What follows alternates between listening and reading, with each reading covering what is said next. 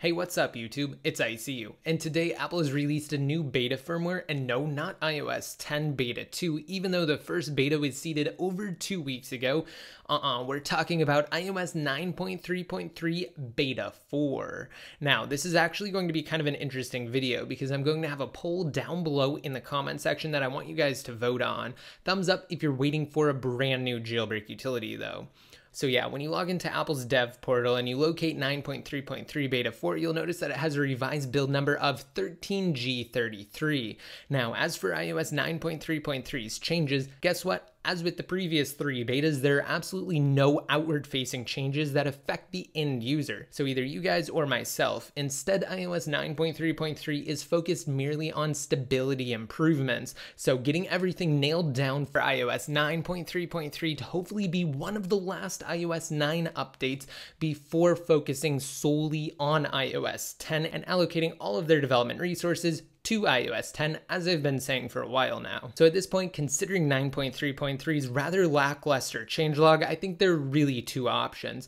And I want you guys to vote on which one you think is actually the case down below in the comment section. I will have two comments posted there. Just be sure to rate up whichever one you're in favor of. First up, we have that Apple is purposefully delaying the release of the next untethered jailbreak utilities by just slamming us with new iOS 9.3.x updates and betas. That one's probably going to be the most common because it seems the most likely. It seems like Apple is delaying the jailbreak intentionally. I mean, we've always known that jailbreak developers like to wait for beta firmwares, if at all possible, to come out of beta before releasing a new jailbreak utility. Because guess what? It takes them hundreds of hours and they're doing it completely for free. They're releasing free jailbreak utilities and they don't want their work to be wasted, so to speak, because if a firmware is in beta, Apple can more quickly patch and close the exploits utilized in a jailbreak utility than if they just wait until there isn't a beta, because of course, then any new changes Apple would like likely want to test, seeing as how Apple puts all of their firmware releases these days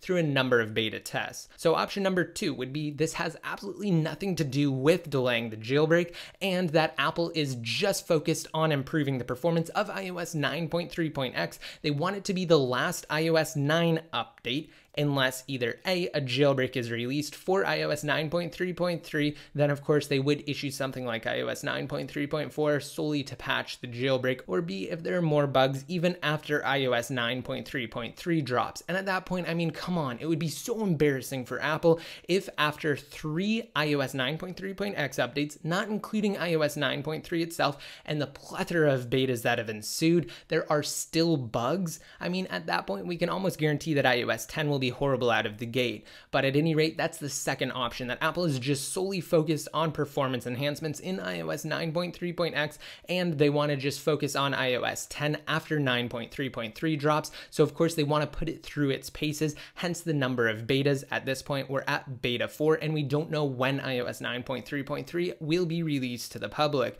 Initially, we weren't expecting over two betas. Now here we are with beta 4. So we don't know when it's going to be released.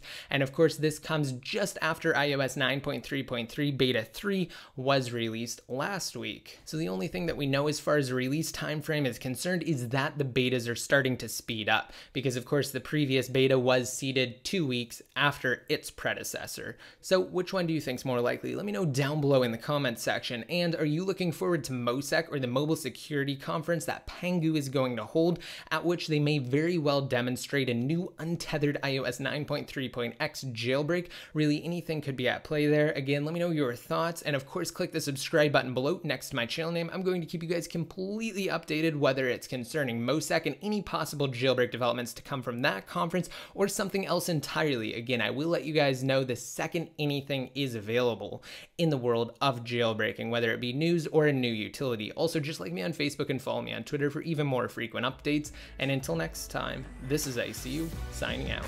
Join the iCrack Your community on Patreon to help out the channel and to be featured in videos similar to these top contributors. Click the link on your screens now if you're on desktop or check below.